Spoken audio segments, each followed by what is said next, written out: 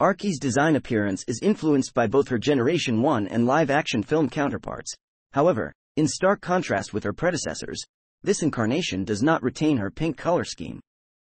Originally during Prime's production, Arcee was intended to possess her traditional pink color scheme as a homage to her original counterpart, however she was later developed into a dark blue whist retaining pink elements. This was factored by the belief of her partner Jack Darby driving a pink motorcycle would appear unrealistic to the production staff. Interestingly, Arcee once stated that if she were to reverse her color scheme, she would be pink.